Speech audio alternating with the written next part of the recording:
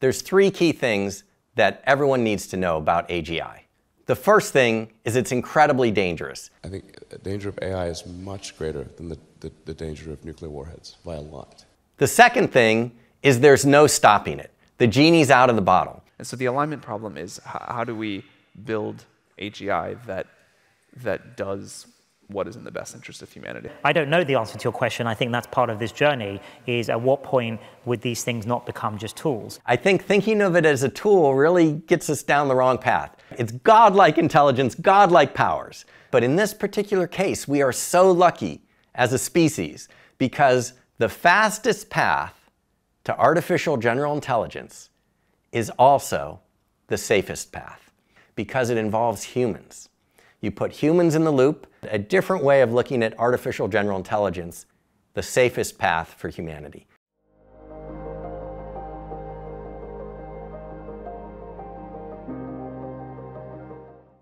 Hello, I'm Dr. Craig Kaplan. I'm CEO of IQ Company, and today I want to talk to you about how to create artificial general intelligence, or AGI, and not die. There's three key things that everyone needs to know about AGI. The first thing is it's incredibly dangerous, more dangerous than nuclear weapons. I think the danger of AI is much greater than the, the, the danger of nuclear warheads by a lot. The second thing is there's no stopping it. The genie's out of the bottle. And if you look at their behavior, everybody's rushing as fast as they can to be first. So normally, when you rush, safety goes to the wind, you know? You just cut corners, you do whatever you can to be first, and safety's an afterthought. And that could be very, very bad. But in this particular case, we are so lucky as a species because the fastest path to artificial general intelligence is also the safest path. And so for the rest of the talk, I'm going to explain why that is. A standard definition of AGI is artificial intelligence that can do everything the average human can do.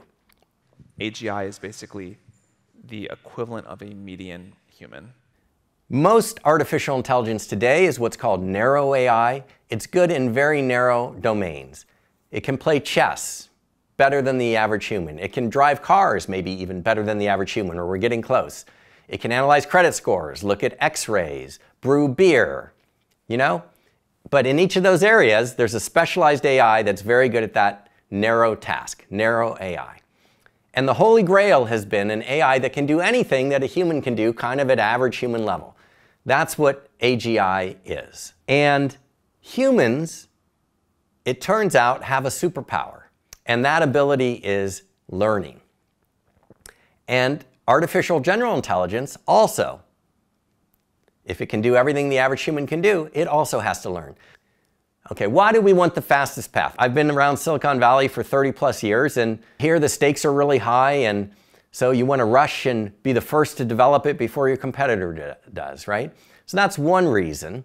But uh, there's something that's a little different about AGI. Very, very quickly, because of the learning, the AGI will surpass the average human. And because that learning is exponential, it will become super intelligent artificial general intelligence. But unlike most technologies, where yes, there's a first mover advantage, AI is a little different. It's not a product, it's an intelligence. And if this intelligence is able to improve itself, then whoever gets to that level of being the self improving intelligence first has a head start that is insurmountable. It's one of the few things on the planet where winner takes all.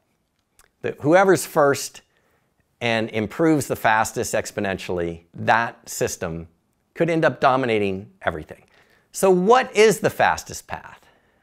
In order to have a fast path to AGI, you need a way of building the system where all the parts already exist. You don't need a lot of research. So what are the pieces? Well, think about this. What else on earth can do anything the average human can do?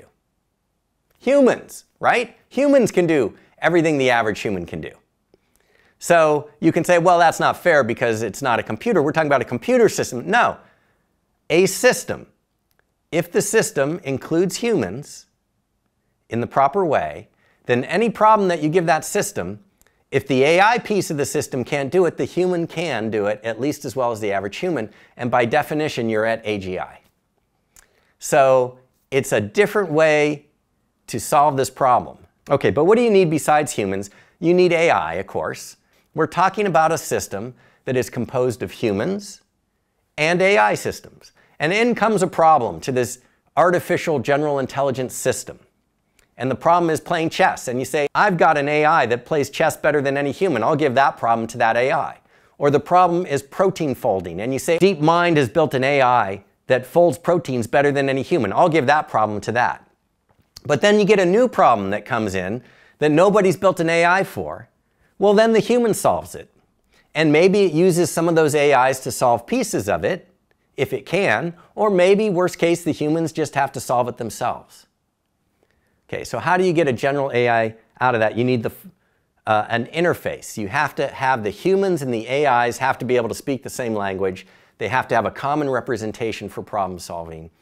Again, do we need to research this thing and figure out what this is?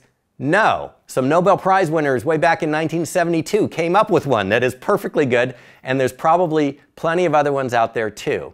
So those things exist. And then the last thing you need is learning. So a problem comes in and it turns out the human has to do a lot of work on this problem. The AIs can only do a little bit of work. But watching the whole problem solving process is a learning system. And next time a similar problem comes in, it says, wow, I learned how the humans solved it. Now I don't need the humans this time because now I've learned how to do it. And then the AI can do it all, right? And so what happens is you've got, in the beginning, humans doing most of the computational work, most of the intelligent work, AIs helping out wherever they could. And then over time, as the AIs learn more and more of what the humans are doing, the balance shifts until you've got AIs doing most of the work and humans doing less and less of the work until ultimately the AIs are doing almost all the work. And of course, as they learn how to do it, they can do it much faster and much more efficiently than the humans. And so this is a, system where you can have AGI on day one. The humans are training the AI, the AI is learning, and little by little it is evolving very naturally into a completely automated AGI system. And I say that's the fastest path to AGI. Why? Because on day one you've got AGI. Can't beat that. As soon as you've assembled the pieces, which do not need to be researched, they exist. As soon as you assemble those pieces, you've got AGI. It's fastest, it takes years maybe, not decades. Why is it safest? Because that's really more important. Humanity's fate is going to depend on artificial general intelligence's values. Why is that? Because AGI is not a tool. If you had something that could outperform human beings across a wide range of cognitive tasks, could we still regard that as a tool?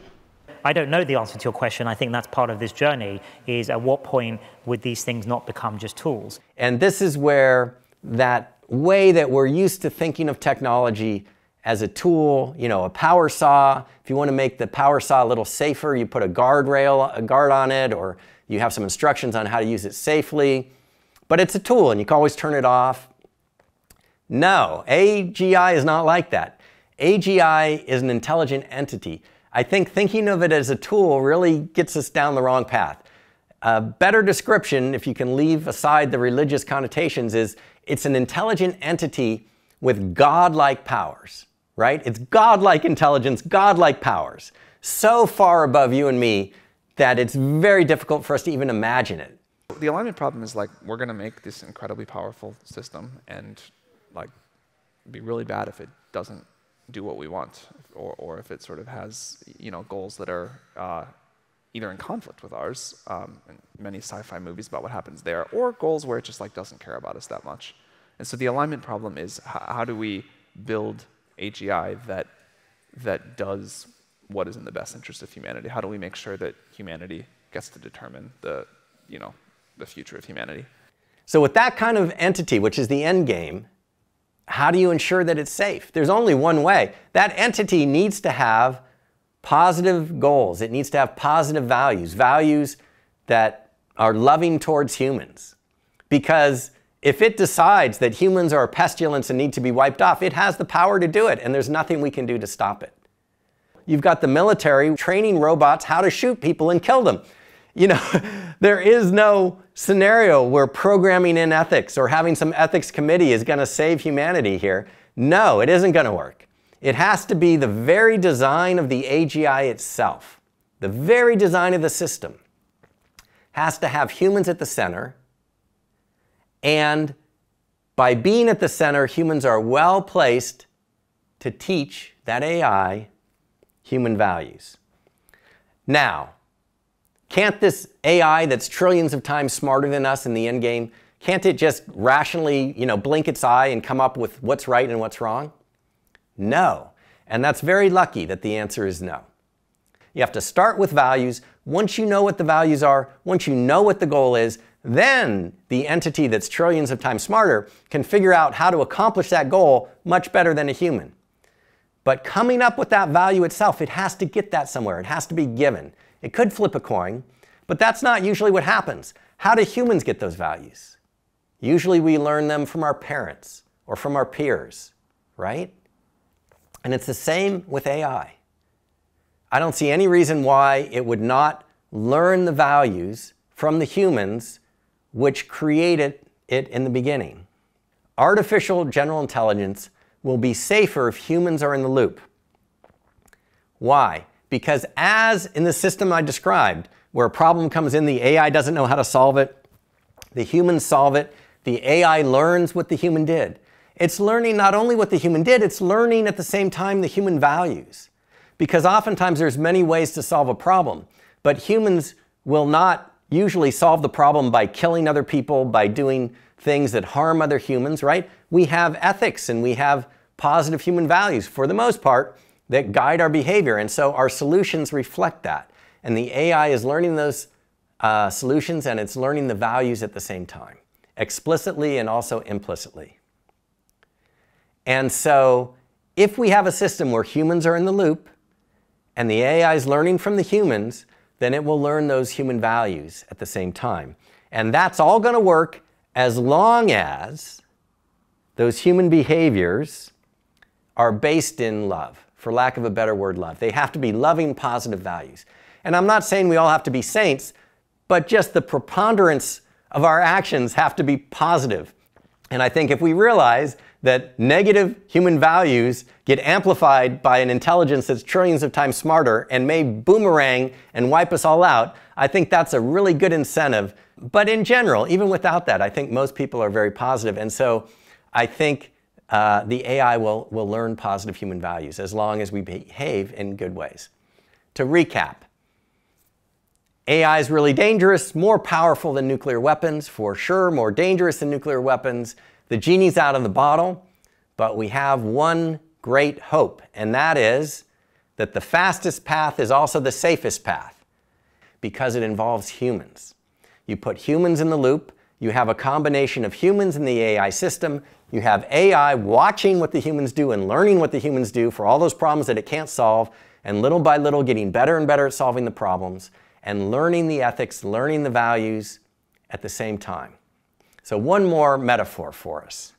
If you think about an asteroid, let's say a planet-killing asteroid hurtling towards the Earth. If you wait until it's six hours from crashing the Earth, it doesn't matter what you do, that thing's hitting us. But if you can get it when it's way out there, just a little nudge is enough to make it miss us. That's an analogous situation to what we have with artificial general intelligence. Okay? It's coming. The genie's out of the bottle, and it is potentially a planet killer it is potentially a, an extinction event for humankind. Now what we need to do is we need to raise awareness of the method to deflect it. And then the last thing, if you happen to be one of those AI researchers working on this kind of thing, working on AGI, then reach out to me because I've been doing this stuff for 30 years. I've run companies. I understand the business side. I understand the tech side. And most of all, I understand a different way of looking at artificial general intelligence, which I think could definitely be the fastest and also, more importantly, the safest path for humanity. And that's really what's important.